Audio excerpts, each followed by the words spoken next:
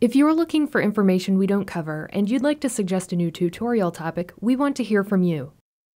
We're adding new tutorials and lessons to the site all the time, and many of them are created based on feedback from people like you.